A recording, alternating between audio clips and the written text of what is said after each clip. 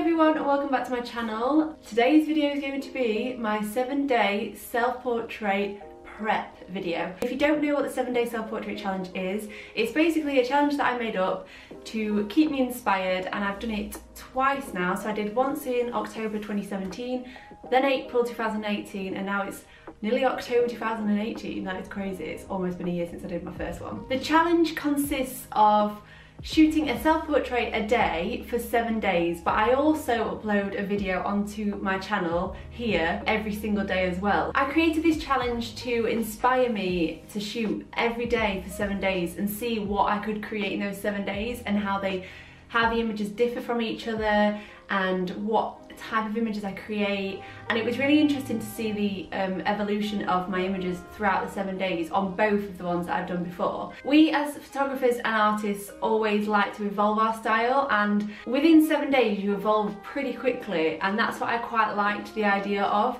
I know there is projects like the 365 project, the 52 week project which I have done one before but a seven day burst just gives me a bit of reassurance that I'm on the right track and I also can get it done within a week. It just gives me something like a timeline, a guide and I also wanted to encourage people out there to also create within a seven day period because at the end of the day it's only a week, what's a week out of your life? You can take it off work, you can take it off school. Without further ado, I will get on with this video. Today I'm going to be prepping my ideas. I did this I think both times last time but I wanted to do it again in a little different way because last year I used the whiteboard and as you can see this is now a brown board, flipped it over because on the back there is a lot of writing that I can't get off. The whiteboard marker has stained and I can't get it off. And I am going to draw my ideas down on paper and then stick them on the board. I always prep my ideas before the challenge because I like to create props for the challenge. You know, my challenge is to create a video and an image a day. So I have to think about all the logistics of how to create the video, how to make it aesthetically pleasing, how to tell a story through that video,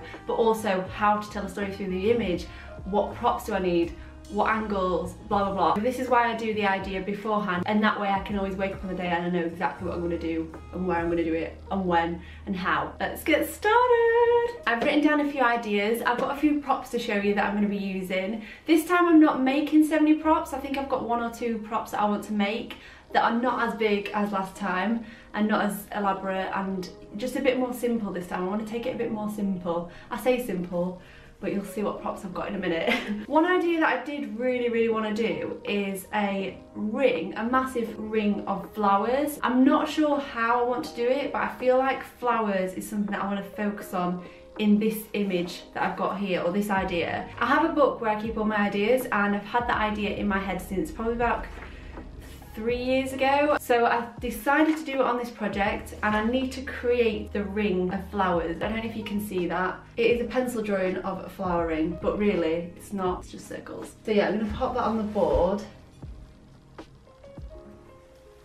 Oh! So my next idea is one that I have shot with recently, but I can't tell you what for or how or even show you the image yet because it is a bit of a secret at the moment. I bought this amazing drum. Oh no, you've seen it. You've seen this drum, haven't you? A prop that I bought on the HomeSense challenge with Joe. I'll link that challenge below. But I really want to shoot with it again for this challenge, so that is something that I'm going to shoot with. Not really sure what I want to do with it yet, but I have got an image of a drum here. I'm going to draw over them.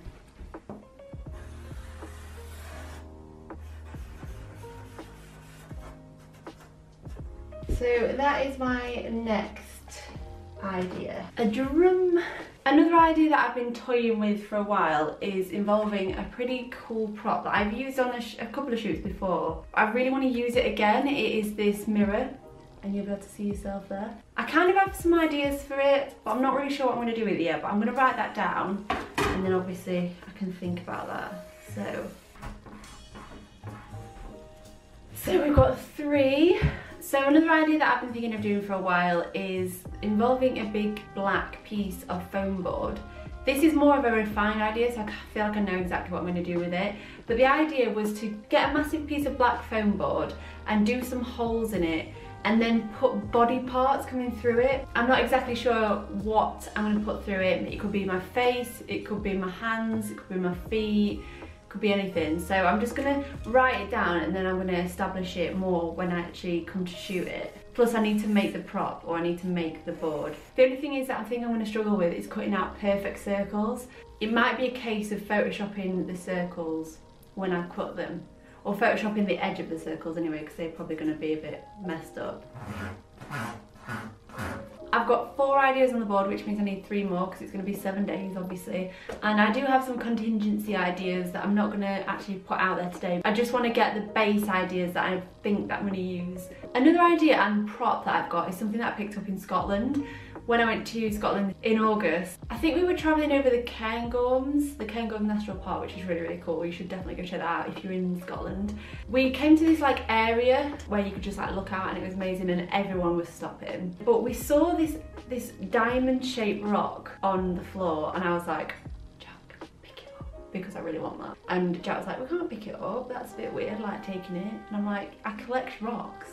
When I was younger, this is a fun fact, I actually used to collect rocks and dress, this is really embarrassing, but dress them up in Barbie clothes and also put faces on them. I was a bit of a weirdo, but that is what I did. And I actually do still do it. I don't put Barbie clothes on them and I don't put faces on them, but I do still collect rocks from around the world. I have a few ideas of what I want to do with it. Because it is diamond, I sort of thought about maybe doing something geometric or have me sat on top of it really miniature but yeah I think that's one of those things where I'm just gonna have to shoot on the day and see or maybe just draw down a few ideas. And even if I don't use the rock I feel like a diamond shape is gonna appear in this challenge somewhere. We've got five on the board and that means we need two more. I went to Sainsbury's the other night and we were walking through the Halloween aisle because it is obviously going to be Halloween soon. And the project will be closer to Halloween. So I was thinking on day seven do like a Halloween themed image. I was walking down the aisle and I saw this prop. It is a bat, if you don't already know what it is, and I really liked it, so I picked it up. I'm not really sure yet. I feel like I might change myself into the bat or put loads of bats around me. That looks really cool. I'm very excited to shoot with that. I might pop them up here. You stay there. I love how I write the names down on these like you don't know what it is. It's a bat.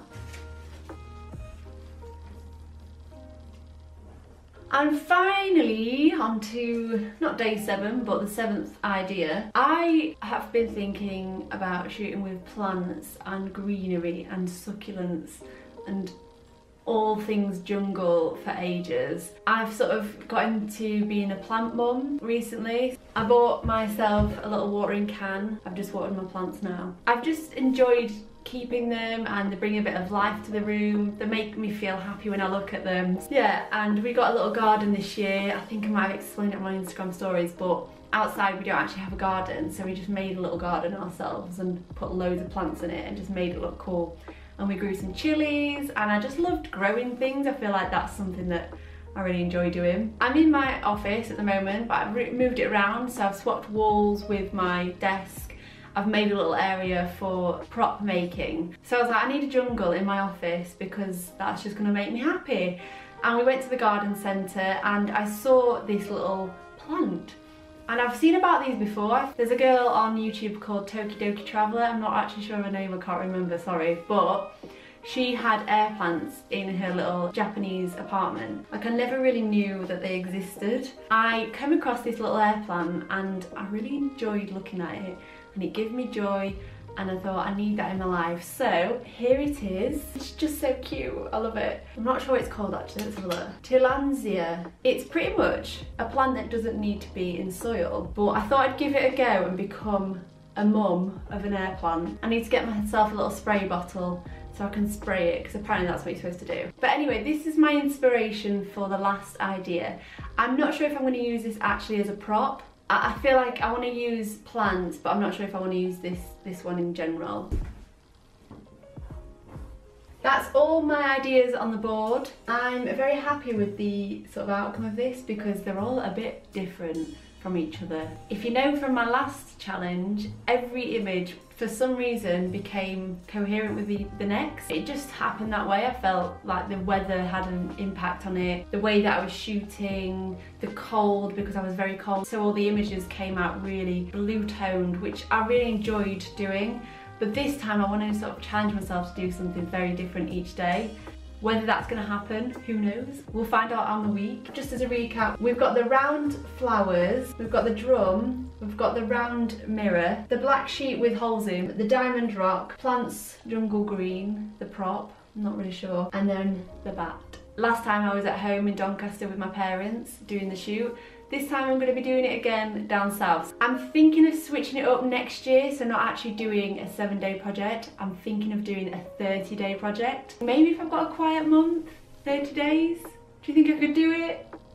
Would you like to see it? Maybe I would switch it up and not actually do a video a day. Maybe I'd do it every like two days or every week, once a week. But who knows? Let me know if you are doing this project with me. I encourage everyone to join along with me with the hashtag 7 days with Holly on Instagram, Facebook and all the rest of it. Just so that I know that you're like joining in on the challenge. You don't have to post a video, just post a self-portrait each day for seven days. Whether you join in for one day, two days, five days, the whole week, you hashtag those images and I'll have a look at them because yeah, it just gives me a bit of inspiration as I'm going along because it becomes quite intense that week. I enjoy watching what other people are doing as well, so yeah, let me know if you're joining in. Don't forget to subscribe if you want to keep up with this challenge and also go and check out my Instagram because I will be posting before and afters and everything on that week. So yeah, thanks so much for watching and I'll see you in my next videos. Bye!